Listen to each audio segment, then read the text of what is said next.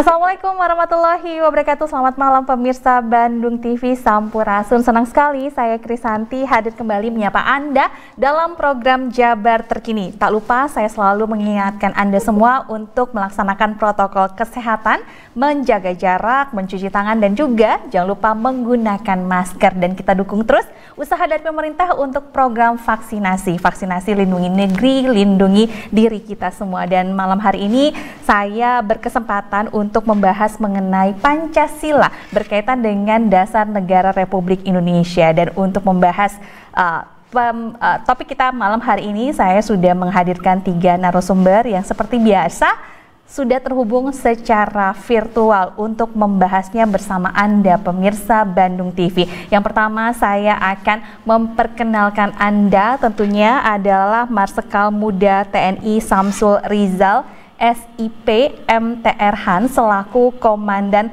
Sesko Angkatan Udara. Kita sapa terlebih dahulu Pak Komandan Sesko AU, uh, eh, Marsikal Muda TNI Samsul Rizal. Assalamualaikum, selamat malam Pak Komandan. Waalaikumsalam, selamat malam Mbak Kristina. Iya, uh, kabar baik ya Pak Komandan? Alhamdulillah baik, Aha. sehat. Alhamdulillah. Terima kasih sudah menyempatkan waktunya malam hari ini untuk berbagi uh, pandangan dan pembahasan berkaitan dengan Pancasila kita, Pak Komandan.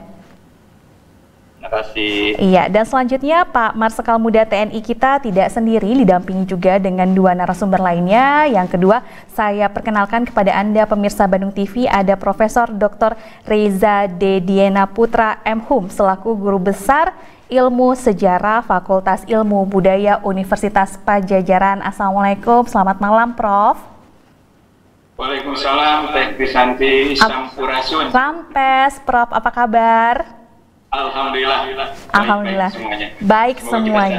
Ya. Amin, Prof. Terima kasih sudah hadir dalam dialog kami hari ini. Dan yang terakhir selaku uh, Kabankes Bangpol Jawa Barat ada Bapak Dr. Dr. Andes HR IIP Hidayat MPD. Assalamualaikum, selamat malam Pak Dr. IIP. Waalaikumsalam, Sampurasun. Rampes Pak IIP, apa kabar Pak IIP? Alhamdulillah berkah. Mudah-mudahan kita sehat semua ya. Amin. Oke, Bapak-bapak sebelum kita membahas mengenai Pancasila sebagai dasar negara kita, saya ingin bertanya sedikit bagaimana progres ataupun penerapan protokol kesehatan berkaitan dengan masih dalam situasi pandemi Covid-19 di instansi masing-masing. Yang pertama, saya akan menyapa dulu kepada Pak Komandan bagaimana situasi di sana dalam penanganan Covid-19, Pak. Ya, terima kasih Mbak Krisanti. Jadi uh, memang dalam menghadapi mm, pandemi COVID-19 ini berbagai upaya kita laksanakan. Yang pertama ya kita mengacu kepada instruksi dari pimpinan atau dalam hal ini pemerintah juga yang diterjemahkan oleh kebijakan dari pimpinan TNI yaitu Panglima TNI dan juga Kepala Staf Angkatan Udara khususnya di lembaga pendidikan. Apa yang kami lakukan di lembaga pendidikan uh, SESWAU khususnya, ini merupakan lembaga pendidikan umum tertinggi di TNI Angkatan Udara. Kita punya dua kegiatan atau dua pendidikan yaitu SESKO dan SESAU, masing-masing 127 siswa dan juga ada SESAU 49 siswa. Mm -hmm. Kami melaksanakan uh, pendidikan selama 11 bulan untuk SESKO, kemudian SESAU uh, 5 bulan dan dalam satu tahun kita dua angkatan. Nah untuk pelaksanaannya kita menerapkan protokol kesehatan. Yang pertama kami bagi uh, pendidikan ini dalam uh, dua uh, gelombang untuk yang uh, off kampus uh, uh-huh. dan juga yang sebagian on kampus gitu Pak sehingga untuk kita bisa menjaga jarak dengan baik uh, uh, satu sama lain. Nah, itu nanti uh, selama on kampus mereka satu bulan penuh tidak diizinkan untuk keluar kampus dan okay. kemudian mereka dipulangkan masuk gelombang yang kedua uh, on kampus. Demikian uh, seterusnya. Demikian juga untuk personil tetap di Sesko kita bagi uh, sesuai dengan situasi yang berkembang kadang 25% yang masuk kadang 50% yang masuk begitu hmm. dan kita juga terus uh, lakukan uh, pemeriksaan uh, melalui uh, rapid test antigen mm -hmm. secara berkala gitu Mbak. Jadi alhamdulillah memang semuanya ini berjalan uh, dengan baik uh, sambil terus kita memberikan uh, penyuluhan dan pengertian tentang bagaimana uh, protokol kesehatan bisa dilaksanakan oleh tiap-tiap uh, individu di Sesko AU. Dan Demikian, tetap uh, okay. Dan tetap semangat untuk menjalankan prokes di lingkungan uh, Pak Komandan ya Pak. Terima kasih. Oke, dan selanjutnya kita akan uh, coba berbincang dengan Prof. Riza berkaitan dengan penerapan protokol kesehatan di lingkungan UNPAD sendiri, Prof. Bagaimana ini untuk bisa membantu pemerintah dalam penanganan COVID-19? Iya, baik. Terima kasih. Jadi tentunya UNPAD dengan berbagai kekayaan yang dimilikinya, potensi SDM yang dimilikinya, tidak hanya berkiprah membantu pemerintah dalam upaya yang kaitannya dengan vaksinasi karena UNPAD melakukan riset yang sangat aktif mm-hmm. berkaitan uh, dengan uh, vaksin termasuk yang sekarang akhirnya sering kita gunakan vaksin Sinovac itu, yeah. itu tenaga riset penelitinya itu dari UNPAD ya mm-hmm. para guru besar Unisba Jajaran kemudian yang kedua juga secara internal UNPAD juga menerapkan protokol kesehatan yang sangat ketat terhadap para dosen tenaga pendidikan Sementara dalam kaitannya dengan kegiatan akademik, eh, hingga hari ini UNPAD eh, sangat berhati-hati dan masih menerapkan kegiatan belajar mengajar secara daring. Mm -hmm. Sehingga bisa dikatakan sudah satu tahun kami ini para dosen tidak pernah bertemu dengan mahasiswa secara luring. Mm -hmm. Para mahasiswa apalagi ini yang hebatnya, mahasiswa baru itu relatif satu tahun penuh mereka sudah menjadi mahasiswa UPAD, tapi belum pernah sama sekali menginjakan kakinya di kampus di Pajajaran. Itu luar biasa ya. Yang mahasiswa baru ini kata itu baik, baik mahasiswa S1, mahasiswa S2 maupun mahasiswa S3. Oke. Okay, Dan okay. itu memang sebagai bentuk tanggung jawab UNPAD untuk bersikap hati-hati dengan kondisi pandemik yang masih eh, saya kira perlu kita waspadai bersama-sama. Okay. Rencananya eh, bahwa UNPAD memang pada semester depan hendak melakukan yang namanya proses atau program pembelajaran hibrid, ya. hmm. sehingga kita mengembangkan yang hybrid university. Tapi tentunya juga proses hybrid ini juga akan disesuaikan dengan kondisi yang ada. Hmm. Jadi kalau kita hybrid itu kita bicara antara daring dan luring, tapi juga sebenarnya dalam konteks itu juga hibrid juga bisa dipahami dalam konteks sinkronus dan asinkronus. Hmm Nah, ini yang dilakukan oleh turis Pajajaran dan kita tampaknya akan selalu berhati-hati dan kepada para dosen juga dan teknik alhamdulillah semuanya sudah dilakukan vaksinasi. Oke. Okay. Hanya kan kita untuk berhadapan dengan mahasiswa bukan hal yang mudah kan ya iya, karena masuk dari seluruh Indonesia uh -huh. dan kalau kita mengadakan tatap muka itu kita harus yakin bahwa para mahasiswa kita sendiri semuanya sudah dalam keadaan sehat dan kalau misalnya perlu divaksin yang menjadi masalah siapa yang akan memvaksin masuk empat jam jumlahnya 30 ribu lebih itu kan jumlah yang sangat luar biasa ya. nah ini barangkali eh, hingga sekarang empat nah, hingga ini semesternya akan berakhir pada tanggal 14 Agustus mhm. kita masih melakukan uh, proses pembelajaran dari kecuali untuk kegiatan-kegiatan sidang untuk program doktor kita di antaranya dilakukan secara hibrid ya. Mm-hmm. Jadi ada yang daring dan juga ada yang luring. Tapi sebagian besar masih menerapkan uh, kegiatan sidang promosi dokter secara daring. Okay. Ini memang membuat implikasi terhadap kualitas pendidikan kita itu. Jadi mm -hmm. tanpa apa tanpa kita hindari itu akan terjadi. Oke, okay. tetap semangat kita. untuk Unpad ya Prof Riza. Betul. Iya. Terima kasih atas penjelasannya Prof Riza. Saya akan coba berbincang kepada Dr. Iip bagaimana untuk penanganan COVID di lingkungan Dr. Iip sendiri, Dok? Ya. Turnuhun. Jadi memang pandemi ini sangat luar biasa. Terus kami ini pemerintah daerah memang hampir semuanya tergabung dalam satgas mm-hmm. COVID-19 ini dan uh, poin pentingnya kita apa langkah-langkah secara terstruktur koordinasi dengan Forkopimda itu dilakukan. Tapi saya ingin menyampaikan bahwa uh, proses vaksinasi terus berjalan, tetapi kita juga tidak boleh lepas dari upaya protokol kesehatan yang ketat karena hari ini kita prihatin gedung sate di lockdown hmm. karena ada kurang lebih 30, 30 yang terpapar ya, hmm. karena ya betul karena memang uh, kami itu fungsi pelayanan jadi yeah. tidak bisa terhindar ketika harus ada pertemuan walaupun sudah diminimalisir ya. Mm -hmm. Di samping itu juga kami kadang-kadang harus rapat ke pusat, mm -hmm. ke Jakarta gitu juga tidak paham tapi faktanya itu. Jadi kita tetap harus berhati-hati. Okay. upaya terus dilakukan. Ini kali kedua ya untuk gedung sate di lockdown ya dokter Ip Ya betul. Oke, okay. oke okay. berkaitan dengan perjalanan panjang bangsa ini tentunya bukan hal yang mudah untuk bisa bertarung, bisa menaklukkan pandemi COVID-19, tapi juga harus bisa menaklukkan banyak uh, idealisme idealisme di luar sana yang berbenturan dengan dasar negara kita yaitu Pancasila yang merupakan salah satu uh, pedoman kita sebagai bangsa Indonesia untuk terus menerapkan Pancasila sebagai dasar negara kita. Mengingat sejarahnya, saya akan coba menyapa Prof. Reza perkembangan dari masa ke masa berkaitan dengan kehadiran Pancasila seperti apa, Prof. Reza? Baik, uh, terima kasih uh, Mbak. Jadi kalau kita bicara tentang Pancasila, saya akan bicara dalam konteks bagaimana Pancasila hadir di negeri kita. Uh-huh. Tentunya, sebagaimana kita ketahui, kalau kita mudahnya, nah, memasuki abad abad 20 itu kita diwarnai oleh sebuah situasi baru ya, di mana hadirnya organisasi pergerakan dengan berbagai aliran atau berbagai ideologi yang melatarinya dari mulai Islam, kemudian tradisional, aliran tradisional, kemudian nasional hingga sosialis dan komunis. Uh.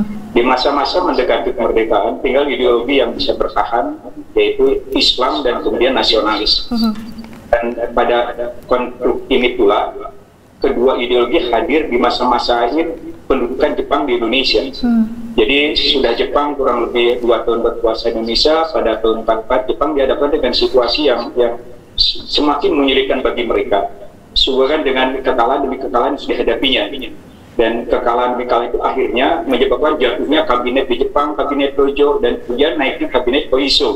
Okay. Jadi kabinet jenderal Koiso. Dan Koiso lah kemudian pada September 1944 mengeluarkan sebuah janji tentang kemerdekaan Indonesia di kelak kemudian hari. Yang sering disebut janji Jepang ini loh, janji Jepang. Uh -huh. Merdeka kemudian hari dan dalam proses selanjutnya kemudian sebagai realisasi dari janji tersebut pada 1 Maret dibentuklah untuk pertama kali sebuah institusi yaitu BPUPK sebenarnya belum pakai I Dokurisu Junbi Chosakai ya. yaitu Badan Pelaksana Usaha-Usaha Penyelidikan Usaha Kemerdekaan Indonesia Kemerdekaan Indonesia sekarang disebutnya seperti itu uh-huh. dan BPUPK ini salah satu salah satu tugasnya memang adalah mempersiapkan yang kaitan dengan dasar negara untuk negara yang mau dibentuk maka dari itu kemudian BPUPK mengadakan sidang-sidang. Nah salah satu sidang BPUPK itu dilakukan pada akhir Mei hingga awal Juni. Dan dalam salah satu sidangnya pada tanggal 1 Juni itu ada pidato tentang dasar negara yang dilakukan oleh Soekarno. Uh-huh. Nah pidato Soekarno tentang dasar negara ini kemudian oleh Bung Karno diberi namanya sebagai Pancasila. Jadi nama Pancasila itu lahir pada tanggal 1 Juni. Namun demikian, kalau kita perhatikan uh, teman-teman uh, semua, yang, yang dasar atau pan, atau Pancasila yang dibuat oleh Soekarno itu urutannya itu berbeda dengan yang sekarang kita kenal. Uh-huh. Karena pada tanggal 1 Juni pada dia pidato ada lima sila yang dia kemukakan. Pada sila pertama itu kebangsaan Indonesia. Okay. Kemudian sila kedua internasionalisasi, sila ketiga mufakat, sila keempat kesejahteraan sosial dan kelima ketuhanan atau bertakwa kepada Tuhan yang Maha Esa. Nah ini, ini pertama kali untuk untuk pertama kali sebenarnya kita mengenai konsep tentang dasar negara uh-huh. yang diberi nama oleh Bung Karno dengan nama Pancasila. Yang Bung Karno dalam sebuah dokumen disebutkan bahwa nama Pancasila ini bukan dia yang menciptakannya, tapi dia terinspirasi dari masukan salah seorang temannya yang ahli bahasa. Uh-huh. Nah, menurut menurut banyak kalangan dari berbagai sumber disebutkan ahli bahasa itu yang dimaksud adalah Muhammad Yamin. Uh-huh.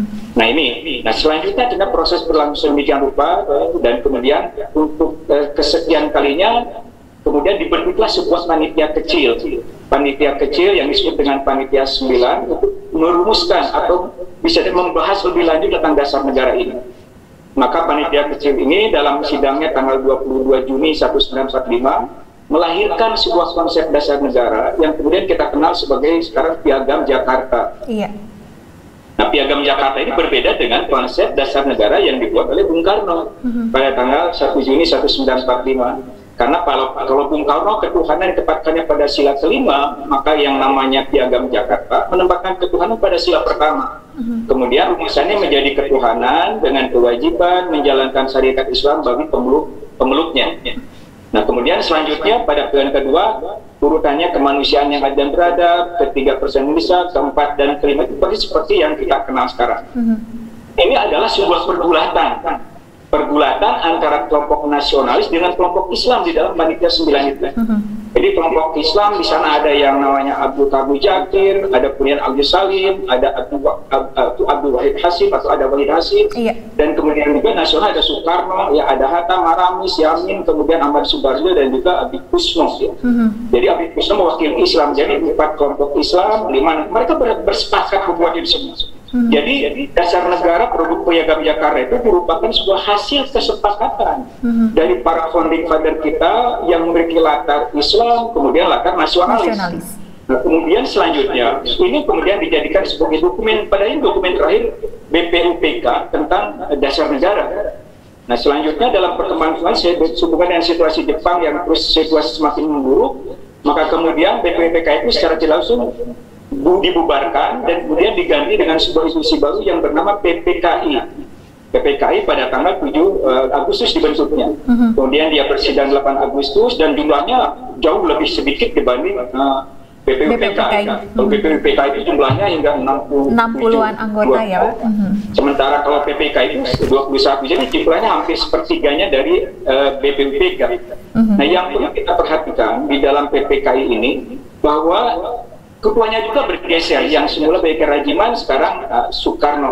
Kemudian kalau di dalam BPK ada wakilnya orang Jepang. Uh-huh. ya Yoshio. Tapi di dalam di dalam BPK sudah Indonesia semuanya. Dan anggotanya mewakili semua pulau-pulau besar Indonesia kecuali Papua. Uh-huh. ada lagi tapi perwakilan Tionghoa. Ya atau orang Cina di dalam di dalam apa anggota BPK ini. Nah BPK ini kemudian mereka bergerak cepat bergerak cepat itu terutama sudah Jepang uh, sudah sudah Nagasaki dan Hiroshima dibom. Ya.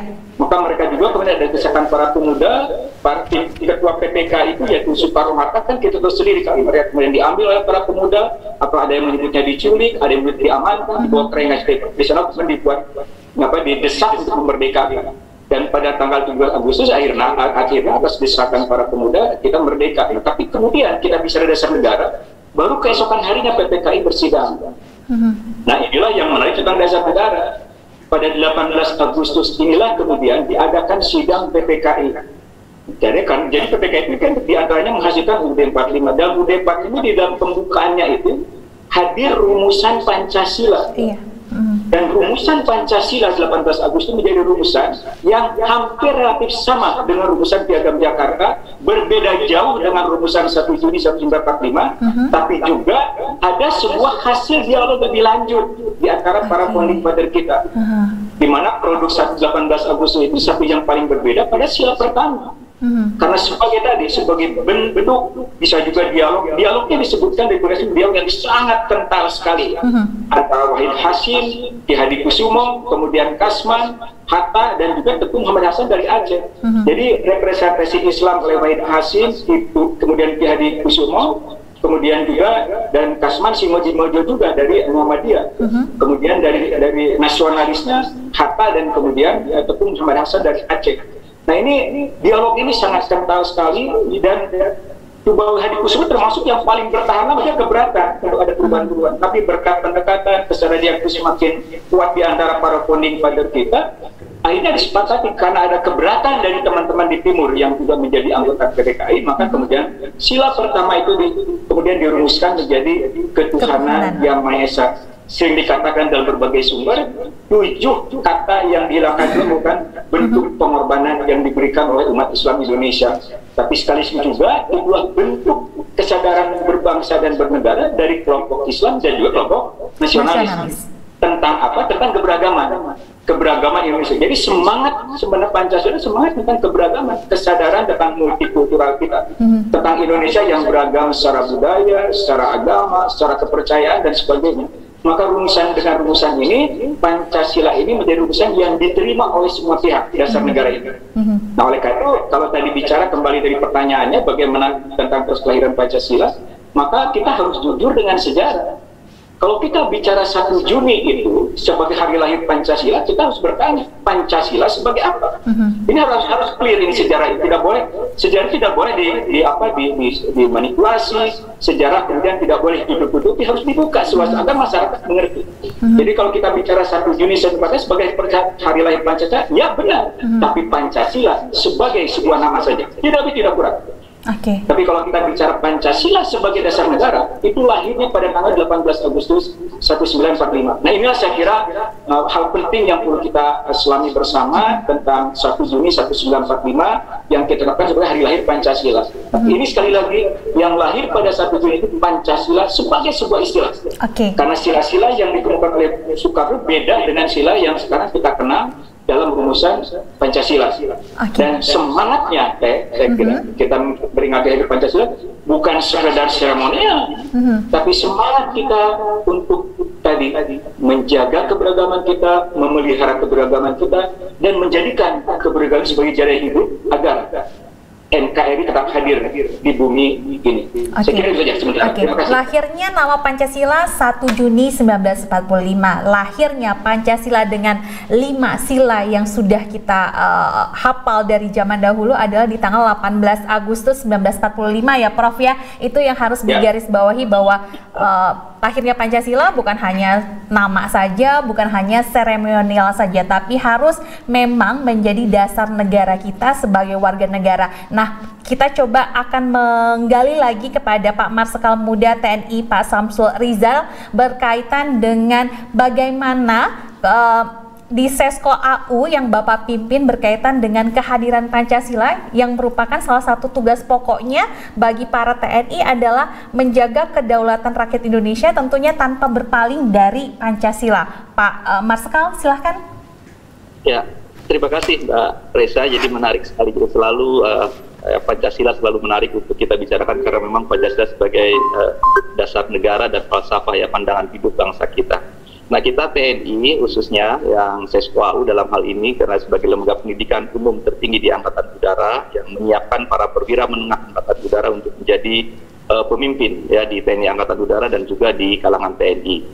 Nah terkait dengan itu sekalipun uh, sebagai lembaga pendidikan umum tertinggi dan sekarang uh, menyelenggarakan program studi ya Magister Terapan Strategi Operasi Udara dalam aturan pendidikan tinggi memang tidak terlalu diwajibkan untuk uh, memberikan pembelajaran tersebut tetapi kita tetap ya konsisten bahwa uh, Pancasila pelajaran atau pendidikan Pancasila tetap diajarkan kepada perwira-perwira menengah TNI khususnya di Seskoau dan itu diselenggarakan di bawah Departemen Kepemimpinan dan Kejuangan. Jadi ada Pancasila, Undang-Undang Dasar 45, kemudian Ketahanan Nasional dan juga Wawasan uh, Nusantara.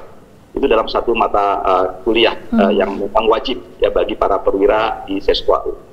Kemudian yang kedua, kita juga uh, ada uh, pelaksanaan pekan uh, kegiatan bersama uh, kejuangan. Itu merupakan kegiatan bersama integrasi dari seluruh pendidikan uh, tinggi di TNI, ya, baik itu Sesko TNI, Sesko Angkatan, Seskoan, Sesko AL maupun Sesko AU dan juga Sespim. Uh mhm. -huh. Jadi kegiatan bersama seluruh uh, pendidikan tinggi di TNI dan Polri melakukan uh, seminar khususnya dan penggalian ya nilai-nilai uh, kejuangan yang didasari kepada uh, Pancasila. Dan di dalamnya sebelum pelaksanaan itu diberikan pembekalan oleh Bapak Presiden langsung ya, kemudian Panglima TNI, kepala staf dan juga Kapolri siapa juga beberapa menteri yang uh, memang uh, ditunjuk atau di, diberi memberikan uh, perkuliahan. Nah kemudian para perwira itu juga membuat naskah bersama mm -hmm. ya naskah uh, perangkatan juga kemudian naskah bersama yang menjadi bahan masukan bagi pemerintah ya khususnya terkait dengan isu-isu yang uh, sekarang sedang berkembang terutama untuk tahun ini uh, terkait dengan penanganan COVID dan juga pemulihan ekonomi uh, nasional. Nah tentu ini juga berkaitan dengan uh, bagaimana Pancasila hadir uh, di dalamnya sebagai pemersatu bangsa ya. Uh, kemudian yang ketiga uh, terkait dengan pembuatan naskah uh, perorangan yang dalam hal ini karena ini merupakan program studi S2 sehingga para siswa memang diwajibkan membuat tesis. Uh-huh. Nah, Sesko, pembuatan tesis ini dalam tinjauan pustaka saya tidak hanya memberikan pada landasan teori umum tetapi juga pada landasan uh, ide uh, konstitusional, landasan ideal, jadi Pancasila tetap harus menjadikan landasan utama dalam pembuatan uh, tesis tersebut. Uh -huh. Dan juga Undang-Undang Dasar 45, kemudian landasan konseptual termasuk kawasan Nusantara, ketahanan nasional. Sehingga mereka tidak hanya pada berpikir kritis pada landasan uh, teori umum yang berkembang, tetapi juga harus selalu penulisan itu berdasarkan pada uh, pemikiran nilai-nilai dasar ya terutama di Pancasila dan Undang-Undang Dasar 45 sehingga mereka tidak pernah lepas uh, dari nilai-nilai uh, tersebut dalam setiap uh, penulisan karya tulis. Mm -hmm.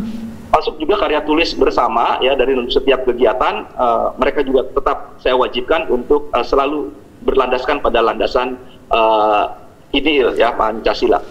Kemudian yang ketiga dalam pendidikan di SESCO kita melakukan penilaian kepada tiga aspek yang dalam pendidikan. Yang pertama aspek akademis yang sangat saya kira pasti itu kita lakukan. Yang kedua aspek kepribadian, yang ketiga aspek kese, ke, apa jasmani ya kesehatan jasmani. Nah, pada aspek uh, kepribadian, uh, di situ adalah tentunya kita akan memberikan penilaian secara khusus dari tiap individu perwira siswa terkait contohnya tentang uh, uh, apa namanya jati diri perwira siswa, kemudian kepemimpinan, ya uh, dan lain sebagainya. Nah, di situ juga kita akan mengukur ya nilai-nilai yang terkandung di dalam Pancasila terkait dengan aspek-aspek yang kita nilai dari uh, kepribadian uh, tiap uh, perwira siswa hmm. sehingga uh, itu tidak akan lepas jadi mungkin dalam pendidikan umum kita hanya uh, mengukur pada aspek uh, akademis tetapi di Sesko ini aspek kepribadian sangat kita tonjolkan hmm. gitu ya sehingga kita berharap bahwa lulusan uh, perwira di Sesko dari Sesko AU ini memang uh, lulus di samping memiliki ke, ke kemampuan intelektual yang tinggi tetapi juga mereka memiliki kemampuan atau kepribadian yang yang kuat ya kepemimpinan mhm. militer, kepemimpinan nasional, ya kepemimpinan kewilayahan, dan kepemimpinan uh, lainnya yang memang mendasari sikap dan perilaku serta norma-norma yang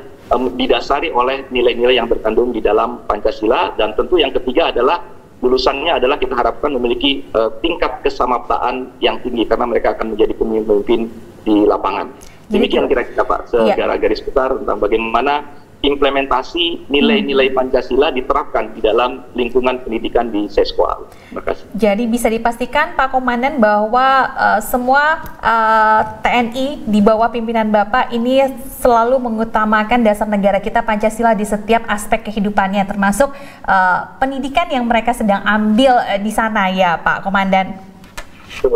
Oke, okay. kita akan beranjak kepada Dr. Uh, Iip. Pak Dokter masih bersama kami ya? Ya. Ya, Pak Im, kalau misalnya kita lihat bahwa Pancasila yang ya, lahirnya ya, tanggal 1 Juni 1945 tadi sudah dijelaskan oleh Prof. Reza bahwa ternyata Pancasila yang sampai hari ini kita uh, terus teladani dan ada di uh, setiap lini kehidupan kita uh, lebih tepatnya lahir di tanggal 18 Agustus 1945 dan kondisi ini tentunya uh, ingin sekali kita kupas berkaitan dengan bagaimana kondisi dari masyarakat Jawa Barat sendiri berkaitan dengan dasar negara kita Pancasila, Dr. Iip. Silahkan. Ya, terima kasih uh, waktunya.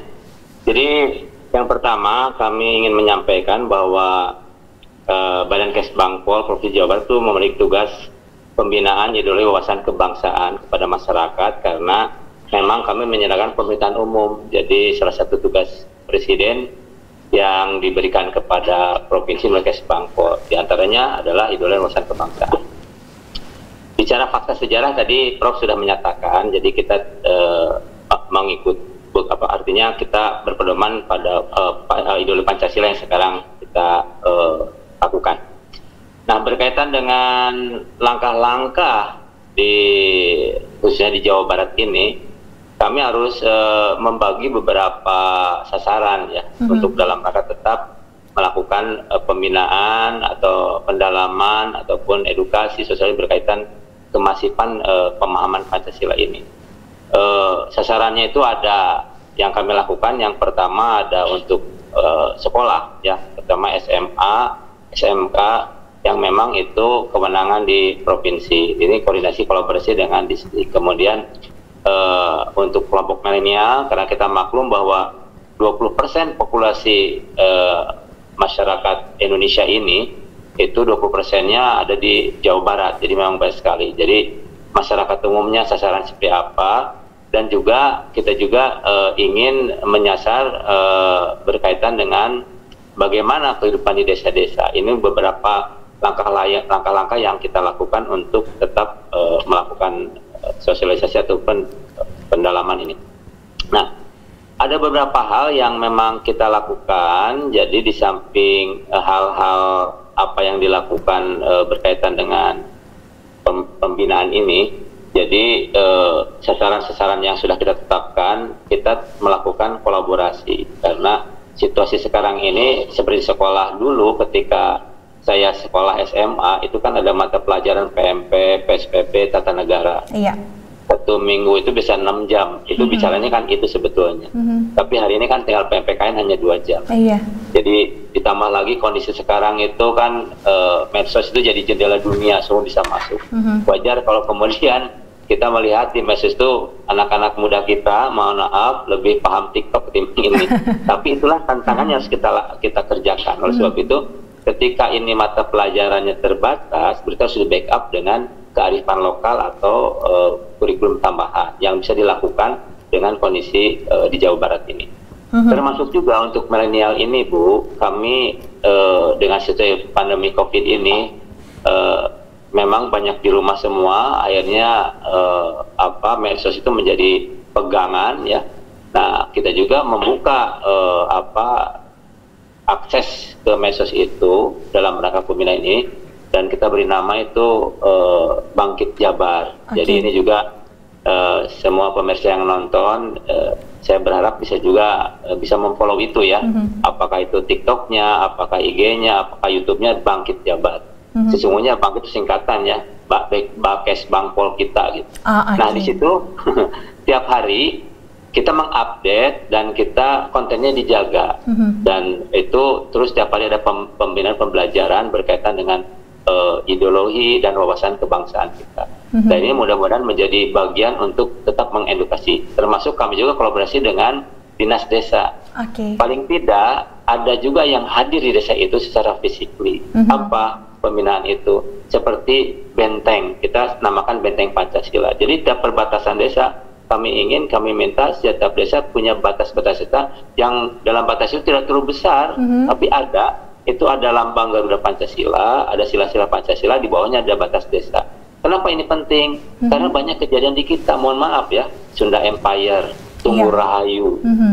uh, Tunggal Rahayu, kemudian ada berbagai hal yang terjadi, itu karena mungkin kita juga tidak masuk ke dalam sana gitu. Mm -hmm. yang notabene mungkin akses sekolah mereka juga terbatas pengaturan terbatas. Itu jadi kita perlu kolaborasi ini. Ini mm -hmm. karena tugas nasional tugas bersama jadi kami juga sangat berterima kasih dari unsur perguruan tinggi tadi diwakili Pak Profesor itu kan uh, penjagaannya luar biasa berkaitan dengan ideologi apalagi di Matra di TNI ya segala macam itu sudah luar biasa pengetatan pengetatan nah, di masyarakat umum lah yang menjadi kewajiban kami yang harus kita bantu bersama. Hmm. Tapi itu akan kita lakukan bersama, begitu ya Bu.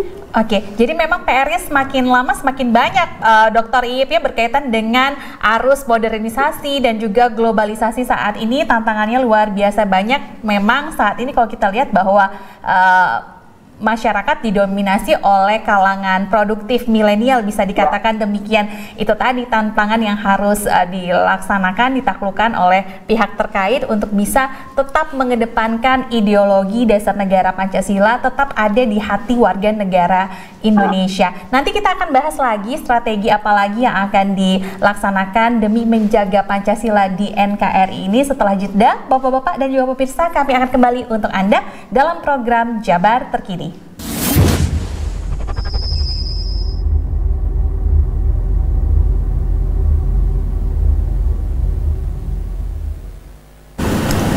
Mencintai Pancasila bukan hanya sekedar ucapan saja, tapi memang harus menjadi pedoman kita karena para uh, pendiri bangsa ini sudah menyatakan bahwa semua yang tercantum dalam Pancasila adalah rumusan dari banyak pihak, sehingga tentunya ini uh, berguna untuk menghindari Indonesia dari segala perpecahan. Tapi pada kenyataannya banyak sekali uh, faktor yang membuat kita terasa terpecah belah saat ini dengan berbanyak dengan banyaknya paham uh, yang dulu kita tidak pernah tahu akan muncul seperti yang disebutkan oleh Dr. Iip tadi sebelum jeda iklan adanya paham-paham uh, yang ada di masyarakat yang memang uh, tidak tersentuh oleh negara misalnya saja Sunda Empire apalagi dengan paham radikalisme yang merupakan salah satu ancaman bagi negara ini bagaimana peran serta dari TNI, akademisi dan juga Kesbang Pol Jabar sendiri berkaitan dengan hal tersebut kita akan coba menyapa kepada Pak uh, Marsikal Muda TNI Samsul Rizal berkaitan dengan peran serta TNI khususnya untuk tetap memperkuat negara ini dengan pedomannya adalah Pancasila. Pak Samsul. Ya, terima kasih ya. Saya kira benar yang disampaikan oleh Mbak ya terkait dengan apa yang kita hadapi sekarang ya paham-paham yang berkembang ya beberapa memang sudah uh, tentu kita prediksi ya kehadirannya tapi juga beberapa yang memang tidak bisa juga kita prediksi kehadirannya tetapi memang inilah pentingnya uh, Pancasila ya sebagai uh, pegangan hidup atau uh, dasar ya uh, dalam kehidupan kita berbangsa dan bernegara serta bermasyarakat. Nah ini penting untuk kita terus uh, galakan ya untuk tidak hanya sekedar dipahami tetapi juga bagaimana masyarakat ini bisa menjalankan ya perannya di dalam kehidupan bermasyarakat ini selalu berlandaskan uh, Pancasila. Nah dalam hal ini TNI saya kira uh, kita terus ya uh, bersama-sama dengan komponen bangsa yang lain karena ini merupakan tanggung jawab bersama. Saya kira bukan hanya tanggung jawab TNI, tanggung jawab akademisi, tapi juga semua komponen bangsa kita bahu membahu ya bersama uh, dalam berbagai program yang kita selenggarakan untuk uh, terus ya uh, me, apa menghadirkan ya Pancasila dalam kehidupan kita uh, bersama. Uh-huh. Nah, hal ini untuk TNI, saya kira baik itu TNI Angkatan Darat, TNI Angkatan Laut maupun TNI Angkatan Udara ya uh, perannya di dalam kehidupan bermasyarakat ya untuk terus ya menghadirkan Pancasila di dalam kehidupan kita ada uh, secara langsung ya hadir di masyarakat termasuk juga Polri saya kira ini ya ada namanya memang uh, Babinsa ya untuk Angkatan Darat, Babin Dirga ya kemudian juga angkatan laut. Nah, kehadiran mereka di tengah-tengah masyarakat ya saya kira kita tidak lagi bicara tentang uh, peran masa lalu ya kehadiran TNI di masyarakat, tapi ini betul-betul bahwa memang uh, kita harus bersama-sama ya tidak bisa saya kira kita hanya mengandalkan satu komponen bangsa saja ya uh -huh. untuk hadir di tengah-tengah masyarakat ya termasuk juga kita polisi. Jadi memang kehadiran kita ini memang diperlukan ya uh, hadirnya radikalisme, terorisme atau mungkin paham-paham uh, yang lain di tengah-tengah masyarakat adalah sebuah keniscayaan bahwa memang ada di situ. Nah itu kan berbahaya ya bagi kita uh, sebagai masyarakat Indonesia dengan beragam ya uh, suku bangsa, agama, ras ya dengan terbagi dalam pulau-pulau uh, yang saya kira ini uh, secara geografis ya menjauhkan satu sama lain tapi kita harus bisa pahami bahwa kita sebagai negara kesatuan ya uh, harus punya identitas ya. Mm-hmm. Identitas yang me menunjukkan bahwa keberagaman kita ya perbedaan kita ada satu tujuan yang ingin kita capai bersama dalam rangka mewujudkan masyarakat adil dan makmur. Nah, ini mm-hmm. merupakan satu uh, pesan sejarah yang tadi disampaikan oleh juga uh, Prof. Riza tentang lahirnya Pancasila bahwa kita memang uh, hadir ya bersama uh, sebagai sebuah bangsa ya identitasnya harus ada dalam butir-butir lima sila dari Pancasila tersebut. Uh-huh. Ya kita harus hadirkan itu ya terutama bagi masyarakat yang ada sekarang tentang bagaimana kita dalam kehidupan beragama ya meyakini satu agama, toleransi satu sama lain ya beri kemanusiaan ya bersikap adil ya saling menghormati negara kesatuan ya uh, Indonesia ini yang terpecah-pecah tadi juga harus tetap satu. Nah ini kehadiran kita itulah yang terus kita uh, bangun ya bersama-sama uh, eh, TNI, akademisi maupun di pemerintahan. Iya. Nah ini maka ya Pak ya. Oke. Okay. Okay. Ya. Pak Komandan tentu treatment penanaman uh, jiwa Pancasila kita berbeda antara sipil dengan para prajurit. Ini uh, strategi apa yang harus kita lakukan bagi uh, bagi masyarakat sipil tentunya berkaitan dengan tadi tetap uh, mencintai Pancasila sebagai dasar negara kita, uh, Pak Komandan.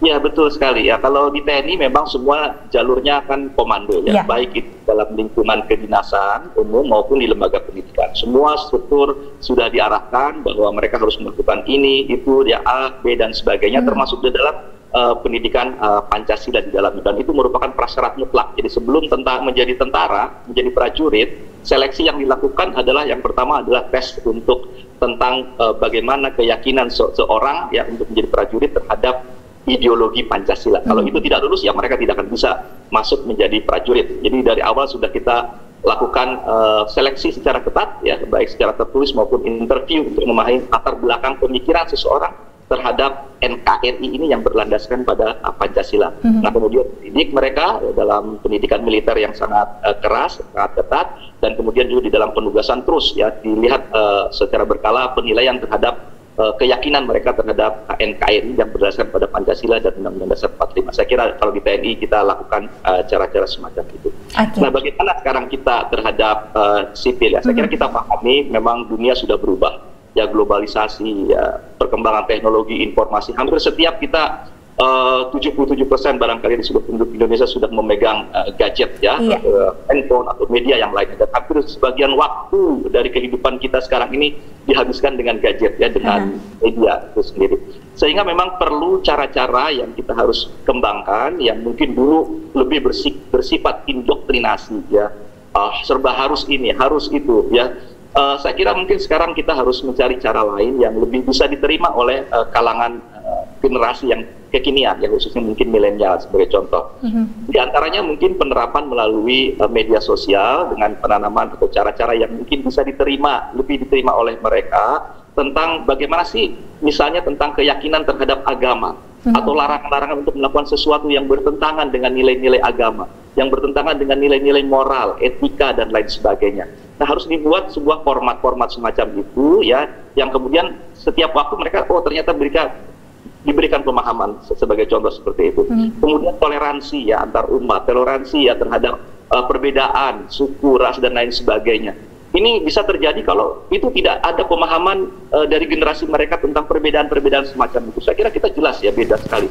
Dari Sabang sampai Merauke ratusan ya uh, perbedaan suku, bangsa, ya agama, bahasa yang kita miliki ini beragam sekali. Itu kalau kita tidak pahami kepada generasi sekarang, ya aneh mungkin bagi mereka ngelihat oh yang ini kok bahasanya kayak begini ini ngomongnya begini gitu hmm. agamanya begini uh, bagi karena mereka setiap hari lihatnya hanya di lingkungan tertentu ya tapi kalau kita tidak paham tentang keindonesiaan kita yang sesungguhnya iya. itu akan berbahaya gitu hmm. agama juga demikian ya keadilan sosial perbedaan sosial antara satu dengan yang lain kan tidak semua kita ini punya orang berada misalnya hmm. contohnya ada perbedaan-perbedaan jadi kepedulian satu dengan yang lain terhadap kekurangan yang kita lihat uh, terhadap sesama kita, kawan kita, rekan kita, saudara kita. Nah kita dorong ya untuk bisa saling membantu kekurangan kekurangan-kekurangan tersebut melalui cara-cara yang bisa diterima melalui media-media yang mungkin uh, bisa kita tunjukkan. Jadi bukan hanya kepada media-media yang sifatnya uh, hedonis ya kesenangan-kesenangan yang sesaat begitu ya semacam itu, tapi juga bagaimana memberikan suatu literasi-literasi yang yang bisa uh, menyentuh aspek-aspek dari lima sila uh, Pancasila itu sendiri. Ini demikian. Oke, okay, jadi lebih mendekatkan diri lagi dengan karakteristik masyarakat saat ini ya, Pak Samsul. Ya, mm-hmm. Oke. Okay. Jadi perlu juga memang kearifan digali kearifan lokal uh-huh. juga. Jadi setiap daerah juga bisa membangun uh, pola itu uh-huh. dengan men- menggali kearifan lokal yang bisa diterima oleh Eh, wilayah-wilayah uh, atau bagian-bagian dari daerah-daerah yang mempunyai ciri khas tertentu. Oke, okay. uh, eh, Prof. Reza, apakah kearifan lokal ini merupakan salah satu cara jitu untuk terus menanamkan uh, bahwa Pancasila memang harus tetap ada di negeri ini dan terus menjadi dasar negara kita sehingga tadi generasi muda yang saat ini memang tadi sudah disebutkan lebih banyak generasi nunduknya daripada generasi meleknya terhadap ideologi ideologi negara kita seperti apa menyikapinya apakah kami generasi saat ini yang harus menyesuaikan diri terhadap Pancasila atau Pancasila yang harus menyesuaikan diri terhadap karakteristik masyarakat Indonesia saat ini? Baik, uh, terima kasih. Saya kira tadi uh, Pak Samsul bisa banyak dan kemudian kita bisa tentang local wisdom atau kearifan lokal ini. Maka yang perlu kita juga pahami bahwa Pancasila itu lahir karena semangat untuk tadi semangat tentang kesadaran nilai-nilai kearifan lokal. Maka rumusan Pancasila ini tadi kan kalau kita bicara kearifan lokal itu kan kita bicara kebudayaan dan kebudayaan itu kebudayaan itu kebudayaan yang tadi sangat beragam sekali luar biasa. Hmm kita itu negara yang dari sejak sejak sebelum merdeka itu sudah sangat multikultural. Mm-hmm. Tidak hanya etnik, tidak hanya ras, tapi juga agama dan kepercayaan. Maka saya dalam berkesempatan selalu bicara, tidak ada negara pun di mana di dunia ini yang sekompleks multikultural Indonesia tidak. Yeah. Ini biasanya tidak seperti terlalu Indonesia. Mm-hmm. Itu etnis itu kan ada kurang lebih terakhir data BPS sampai 1000 tahun uh, 2010 itu ada kurang lebih 1182 etnik dengan khusus maupun bahasa jumlah yang sangat luar biasa. Mm -hmm. Kondisi itu juga sudah terjadi sebelum kemerdekaan. Maka pada kita bicara tadi Pancasila, semangatnya semangat tentang yang yang ada multikulturalisme, kearifan nilai-nilai kearifan lokal, nilai budaya itu mengilhami para founding father kita sehingga merumuskan Pancasila seperti seperti itu. Yang sebenarnya juga pernah saya katakan juga dalam berbagai kesempatan itu juga yang mengilhami teman-teman kita anak muda pada saat Sumpah Pemuda. Maka Sumpah Pemuda itu punya pasal bahasa itu kan bukan bukannya berbahasa satu tapi menjunjung bahasa persatuan beda antar bahasa dengan menjadi bahasa persatuan itu ada semangat untuk mengakui adanya kebudayaan daerah. Nah, konstruksi sekarang Pancasila bagaimana? Memang ini menjadi tantangan besar kita kan. Tantangan terbesar kita itu adalah bagaimana kita semua bisa mengimplementasikan Pancasila secara, secara konsisten dalam berbagai aspek kehidupan hingga kini kita masih perlu bekerja keras untuk itu semua. Uh-huh. Kalau kita ambil contoh barangkali ya, kita bicara tentang Pancasila tadi, bahwa kita kalau Pancasila merupakan bagian yang melekat di dalam UUD 45, kan kita tahu bahwa yang namanya UUD 45 tidak hadir hanya pada kurun waktu 50 59 kan. Iya. Pada saat kita mengenal namanya negara dari uh, negara pada saat kita hadir di sana dalam politik apa demokrasi parlementer kan. Uh-huh. Dengan dengan berbagai apa jatuh bangunnya kabinet kan dan kita UDS-nya UDS sementara itu kan. Tapi pada saat kita di luar itu kita hadir sebagai bagian dari uh, dari dari sebuah negeri negara yang berazaskan Pancasila. Tapi kita lihat sendiri semua pemerintahan yang menjadikan Pancasila sebagai dasar negara, kemudian masih banyak terjadi hal yang yang yang menjadikan permasalahan di dalam proses kehidupan berbangsa dan bernegara. Demokrasi terpimpin. Soekarno itu kan melakukan demokrasi, tapi Pancasila dasar negaranya. Pada masa kemudian Soeharto juga menjadi presiden, Pancasila sebagai dasar negaranya. Uh -huh. Tapi kembali dalam masa itu terjadi hal yang yang yang yang sering kali dianggap bertentangan dengan nilai-nilai Pancasila. Dan upaya rejim Orde Baru untuk bangsa Orde Baru untuk untuk bagaimana menjadikan Pancasila sebagai nilai-nilai yang bisa diekspresikan, diteladani dan sebagainya kita yang betul ada yang namanya P4 kan. Mm-hmm, betul. Sejak ke 79 dan ya, menghilang sini seiring dengan menghilangnya uh, pemerintahan Orde Baru pada tahun 98. Mm-hmm. Tapi intinya itu ada semangat untuk bagaimana menjadikan sebagai nilai yang bisa dilaksanakan, dihayati di masyarakat kita. Tapi yang terjadi kemudian adalah yang bukannya yang adanya kesadaran, yang timbul kesan indoktrinasi di dalamnya. Uh-huh. Sekarang juga kita pada masa sekarang, teh, uh, kalau kita bicara tentang Pancasila sebagai tantangan besar kita ternyata kalau kita perhatikan maaf kalau saya sebut anak-anak generasi milenial ini sekarang dengan teknologi informasi yang sangat luar biasa gadget kalau kita perhatikan di dalam med, dunia medsos dan sebagainya itu sering kali jauh dari nilai-nilai yang harusnya menjadi milik anak-anak muda kita hmm. nilai-nilai Pancasila kita yang berkaitan dengan ketuhanan yang Maha Esa nilai dan kemanusiaan yang adil dan beradab. Iya. Perhatikan bahasa-bahasa dan mesej kadang-kadang bukan bahasa-bahasa yang berperi kemanusiaan. Iya. Itu bahasa-bahasa yang kadang-kadang berkepribadian, berkepribadian binatangan ya barangkali. Mm -hmm. Jadi, jadi kadang-kadang bahasa-bahasa yang kasar muncul itu dan itu. Tapi anak muda kita, mm -hmm. ya, anak milenial kita. Dan kemudian hal yang kaitan dengan persatuan Indonesia. Kadang-kadang kembali kita tanpa sadar, sebenarnya bukan milenial kalau ini, kadang-kadang para elit politik sendiri iya. para elit sering sekali memain-mainkan nilai-nilai persatuan ini mm-hmm. dengan memain-mainkan keberagaman maka kita tahu kan kita bisa mencatat peristiwa-peristiwa konflik yang terjadi di negeri ini dari mulai di Sumatera, di Jawa, Kalimantan dengan Sambasnya, Sulawesi semua dengan Posonya, Maluku dengan Ambonnya, Papua kemudian dan Nusa Tenggara itu hampir semua itu karena tadi bahwa kita mencoba-coba memainkan keberagaman. Kita lupa bahwa persatuan Indonesia itu dibangun dari keberagaman. Dan keberagaman harus menjadi daya hidup. Hmm. Nah ini pula saya kira yang terus sekarang bisa dari betul oleh anak muda kita. Hmm. Termasuk nilai kerakyatan, nilai keadilan. Nah kalau tadi bicara kebudayaan lokal yang bagaimana yang harus dilakukan, saya kira sederhana lah ya dalam era di globalis sekali sekarang, satu hal yang sekarang menjadi kekuatan setiap negara itu kembali kepada lokal wisdom, kepada lokal culture. Hmm. Kekuatan di sana sekarang.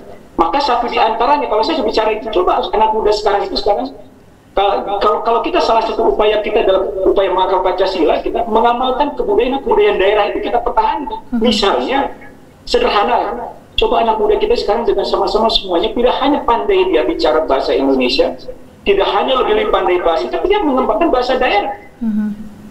Ini, ini menjadi, menjadi salah satu salah satu hal yang menjadikan anak muda kita kehilangan identitas.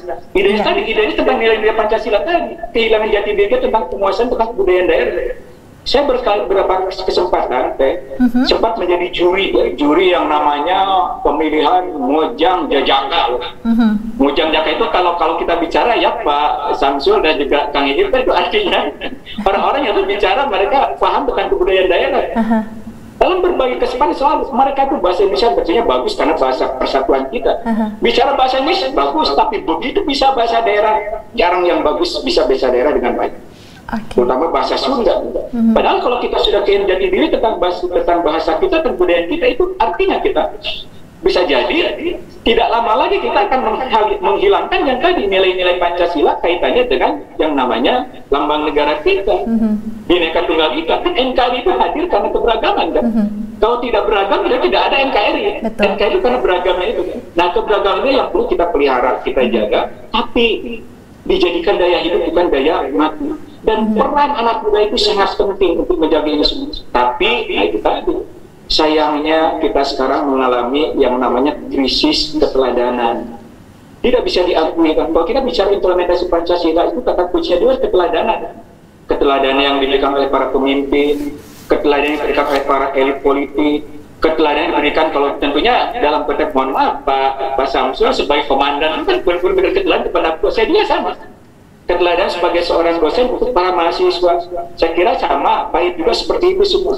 Ya, semua di antara kita punya kewajiban untuk memberikan keteladanan tentang bagaimana nilai-nilai Pancasila itu bisa kita implementasikan di dalam kehidupan sehari-hari. Karena kalau kita semua mampu melakukan itu, saya yakin, saya yakin yakinnya negeri kita itu akan lebih baik daripada kondisi yang sekarang kita jalani saat ini. Saya yakin sekali kita bisa menjaga nilai-nilai ketuhanan yang bisa dengan baik, toleransi antar umat beragama kita jaga kita bisa menjaga nilai-nilai kemanusiaan dalam era COVID sekarang itu nilai kemanusiaan perlu kita kembangkan kan? Mm-hmm. Kita bisa kita meningkatkan kepekaan sosial kita kan? Bagaimana kita berhadapan dengan mereka yang timbang musibah, bagaimana kita bisa berempati.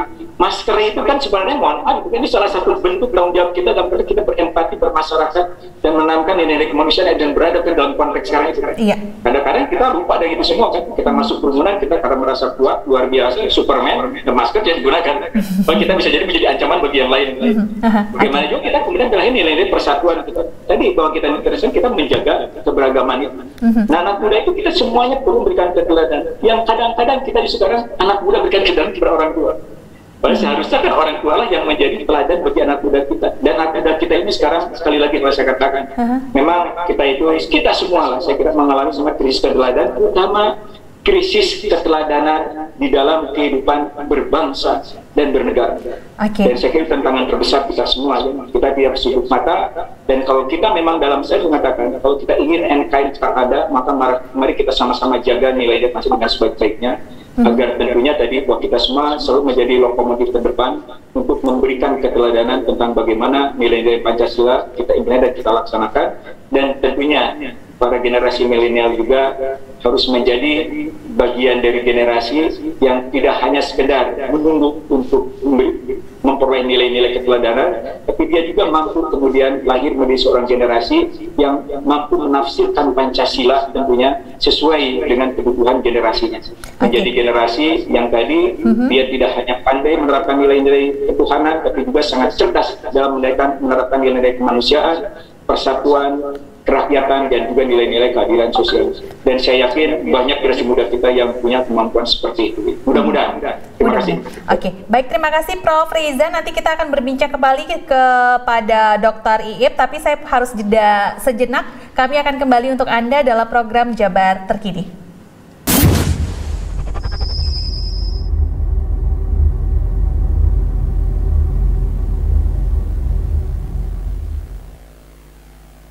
Segmen terakhir kami berkaitan dengan pembahasan kelahiran Pancasila dan sebelum kami berpisah dengan Anda, saya akan kembali menyapa ketiga narasumber saya malam hari ini. Uh, yang nanti kita akan coba dengarkan langsung dari Dr. Iip berkaitan dengan mencintai Pancasila sebagai ideologi bangsa yang memang merupakan salah satu pedoman hidup kita selaku bangsa Indonesia khususnya bagi kita masyarakat Jawa Barat seperti apa Dr. Iip singkat saja silahkan Ya, tadi kita bicara bagaimana penguatan ya ideologi mm -hmm. Pancasila agar uh, menerap di hati kita. Oleh sebab itu poin pentingnya bagaimana menjadikan Garuda di dadaku, Pancasila di hatiku. Mm -hmm. Itu poin pentingnya. Tapi jangan lupa apa yang disampaikan tadi oleh narasumber sebelumnya, ancaman juga ini menjadi hal yang serius harus kita waspadai. Hmm. Kenapa? Karena pengguna internet terbesar di dunia itu sekitar 140 ada di Indonesia Betul. dan 60% itu adalah penggunanya anak-anak remaja, hmm. milenial. Inilah yang harus kita waspadai karena boleh jadi pengetahuan idola lain bisa masuk melalui media sosial itu. Hmm. Nah, ancaman yang nyata di kita itu masalah intoleransi, radikalisme dan terus termasuk Jawa Barat juga sekarang oleh yang mensurvei dikatakan bahwa Jawa Barat provinsi paling intoleran yang yang saya sangat tidak sependapat dengan hasil ini karena hmm. bicara Jawa Barat bicara 27 kabupaten kota dan saya lihat di tiap kabupaten kota itu tidak ada uh, apa agama yang dilarang untuk beribadah hmm. tidak ada etnis lain yang apa uh, tanda kutip berdagang diusir dan sebagainya saya kira masih lancar aman-aman saja hmm. tapi poin pentingnya adalah sepakat dengan uh, semua narasumber, mari kita sosialisasikan, perkuat melalui media sosial misalkan, bikin eh, konten-konten uh, yang menarik hmm. untuk milenial, misalkan bikin video pendek cukup satu menit. Dan ini faktual misalkan. Hmm. Ketika bicara ketuhanan yang Maha kenapa ketuhanan Maha di, di Indonesia? Karena ada enam agama. Dari sejak awal ini sudah beragam di kita itu. Hmm. Artinya itu tidak dilindungi. Tapi ketika kita lihat India, mohon maaf misalkan, negara agama pecahlah menjadi Bangladesh, mm-hmm. pecahlah menjadi Pakistan dan Pasya terus. Kemudian sila ketiga, persatuan Indonesia. Bagaimana dengan ribuan pulau-pulau ini kita bisa bersatu? Coba kalau tidak, Pak, kayak kayak negara Yugoslavia. Iya. Ya provinsi itu jadi negara-negara. Kurang lamun pas gitu, mereka balik kudu pakai visa paspor. Bagaimana itu kan jadi repot dan uh. akan terus beribut. Jadi sepakat kita akan bikin sebuah konten bagaimana ini bisa dirasakan langsung oleh terutama masyarakat dan milenial bahwa Pancasila itu adalah ideologi yang harus kita pedomani bersama dan itu sudah sepakat dari dulu. Itu hmm. saja. Oke, okay. terima kasih Bapak-Bapak atas sharingnya malam hari ini. Semoga saja dengan adanya pembahasan mengenai Pancasila ini bisa memberikan sedikit tambahan persentase kecintaan kita terhadap Pancasila dan menjadikan bahwa Pancasila adalah pedoman hidup kita sebagai bangsa Indonesia untuk bisa bernegara dan sepakat yang sudah disampaikan oleh Prof. Reza berkaitan dengan saat ini Indonesia memang memiliki uh, situasi kritis terhadap keteladanan dan itu pun harus kita dapatkan dari para uh, petinggi negara ini untuk memberikan contoh terbaik bagi warga negara Indonesia. Terima kasih saya sampaikan kepada ketiga narasumber saya dan jangan lupa menurut paparan dari Marsikal Muda TNI kita Pak Samsul Rizal berkaitan dengan Pancasila ini harus ada di garda terdepan untuk menjadi pegangan kita bernegara baik bagi para prajurit dan juga kita sebagai masyarakat sipil. Terima kasih atas kebersamaan Anda malam hari ini kurang lebih satu jam. Terima kasih kepada bapak-bapak. Kita uh, doakan semoga Indonesia selalu dalam kondisi aman dan juga bisa melalui beragam tantangan termasuk pandemi ini. Saya Krisanti pamit. Wassalamualaikum warahmatullahi wabarakatuh. Hatur nuhun. Waalaikumsalam warahmatullahi wabarakatuh. Enggak, Kang Ip, Kang Samsul. Hatur nuhun, Bapak-bapak. Enggak. Matur nuhun, Kang Hatur nuhun.